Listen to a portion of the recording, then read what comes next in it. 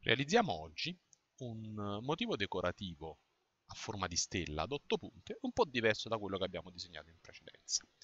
La base è sempre la stessa, cioè la realizzazione uh, un, del, della parte iniziale del disegno dell'ottagono a partire dalla circonferenza, perché andremo sempre a cercare 8 punti, quindi 8 punte all'interno della circonferenza. Come al solito cerchiamoci il centro del nostro quadrante per poter disegnare abbastanza centrale la nostra figura. Come vi ho detto in precedenza non è importante la precisione nella ricerca del centro perché non stiamo ai limiti del nostro quadrante. Apriamo il compasso, io apro sempre a 4 cm, l'abbiamo fatto per tutti i disegni, quindi anche in questo caso 4 cm, e disegniamo la prima circonferenza. Ora sarò un po' veloce nel realizzare l'ottagono, la base dell'ottagono, perché l'abbiamo già visto diverse volte. Quindi mi disegno la linea orizzontale che passa per il centro.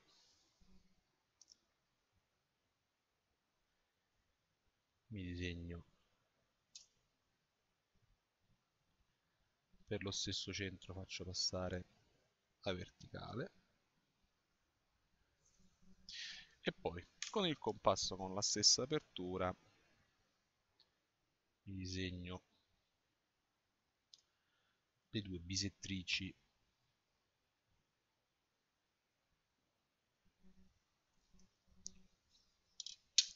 Ho voluto cambiare la scritta in alto e ho fatto male.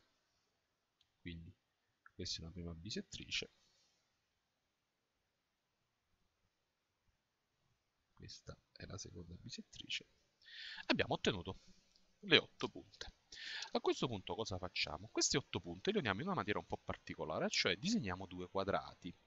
In pratica un quadrato è quello perfettamente orizzontale, che facilmente vediamo qui,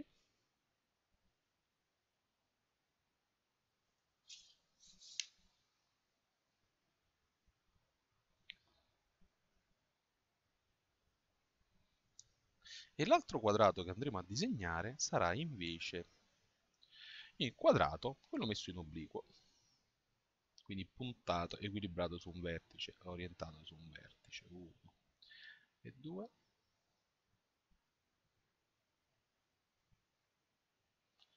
1 e 2. Il disegno non è finito qua perché da questi due quadrati dovremmo disegnarne altri due un pochino più piccini. Cosa facciamo? Dobbiamo fare attenzione, andiamo a vedere questi punti. 1, 2, 3, 4, 5, 6, 7 e 8. Sono quelli che andremo nuovamente a unire sotto forma di due quadrati. Quindi abbiamo cominciato con quello orizzontale, continuiamo con quello orizzontale. 1, 2,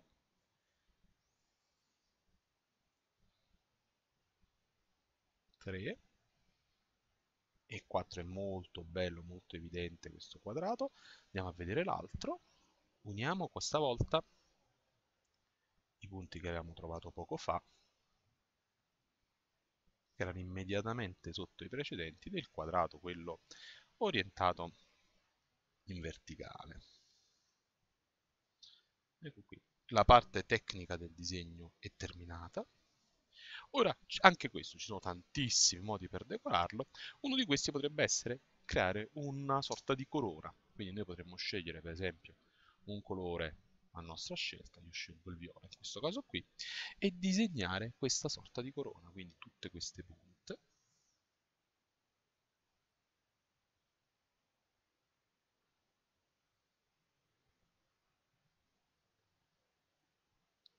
unite da questi pezzi rombo. Di nuovo una punta. Ricordate, nel dubbio, quando colorate, colorate un pezzo per volta, così da assicurarvi di non sforare in zone, tra virgolette, proibite.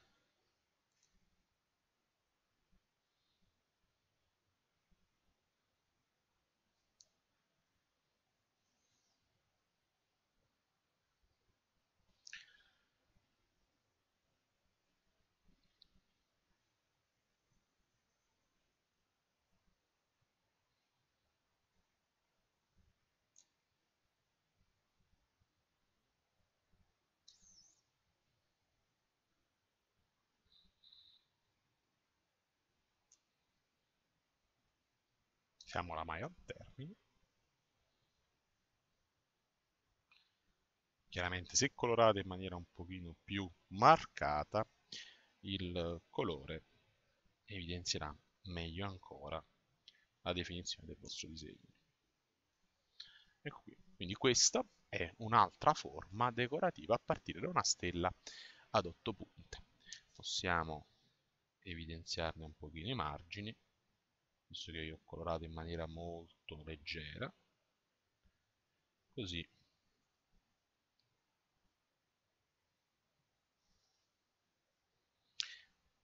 da vedere meglio l'effetto della corona.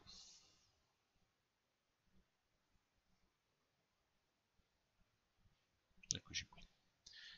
Va bene, come al solito vi invito a provare a effettuare questo disegno, uh, come vedete non sono impegnativi uh, se avete già svolto tutta l'attività sui poligoni regolari a partire dalla circonferenza e poi ad inviarmeli così da poterli valutare insieme. Vi saluto e vi do appuntamento al prossimo disegno.